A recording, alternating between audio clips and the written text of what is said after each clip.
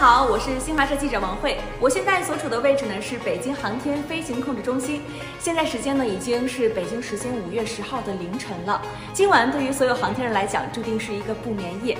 所以趁此机会，带大家去探访一个神秘的幕后团队。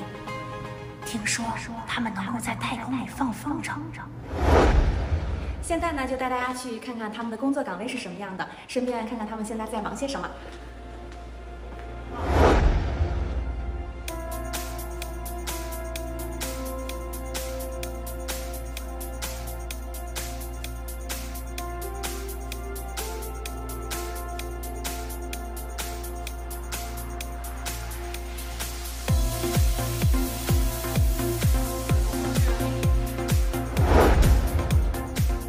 轨道室呢，主要是承担着轨道确定、轨道预报、轨道控制、轨道设计等方面的工作。呃，如果用通俗的话讲的话，应该是主要是用来确定航天器的位置。要知道这个风筝它要往哪飞，然后它的位置在哪里，然后它要怎么飞到下一个地方。特别是轨道这不能出任何偏差，小两后第三位、第四位就差一点点都不行。所做的那个数据有问题的话，整个所有的那个相关的那个操作都是无效的，甚至是很危险的。精益求精，这是我们不懈的追求，任何时候都不会停止。我们团队主要在这次天舟任务发当中呢，主要担负呢有三个方面的职责。一个方面就是说，我们的要给他们算那个发射窗口；第二个方面就是我们要给他把这个呃发射后的那个轨道给计算出来，知道它有没有正常入轨。还有第三个方面呢，就是我们要知道天舟四号入轨之后的轨迹它是安全的。呃，目前呢，我们我们室呢，整个梯队现在建设是也是非常好的，非常健康，老中青结合。老的有一些六零后，那是我们中心的老模范、老典型。然后有七零后、六零后、七零后都是我们的一些专家、骨干。这是我都是我们定海神针。中间层呢，就是我们的八零后，这一层呢就是大概工作时间也就十年左右。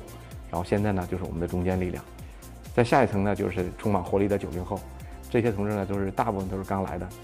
就是我们这个岗位培养一个人周期会非常长，成为一个骨干啊，成为一个岗位上顶梁柱啊，七八年的一个大概很长一个周期，就这些都是一些就是特别优秀的年轻人，他也特别特别有活力。呃，我是九五年的，二零年一月份参加工作的。呃，一九年十月到中心工作。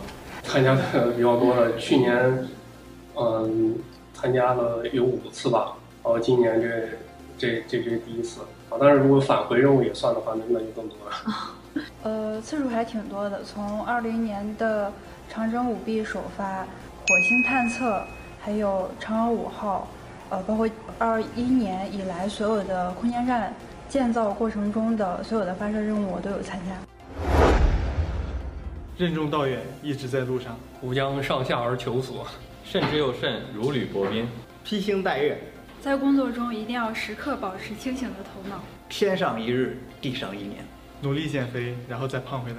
十公里包治百病，如果跑不了就选择躺平。呃，一有时间就睡觉。当然是跟比我压力还大的人聊天。没有什么是睡一觉解决不了的，如果不行，那就睡两觉，放空大脑，轻松快乐的看直播，同甘共苦，精诚团结，专业，群策群力，温暖，靠谱。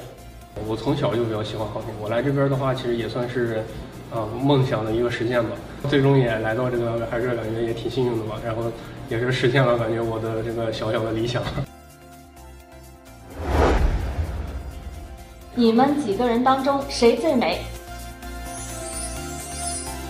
你们几个人当中谁最帅？你们团队谁最认真？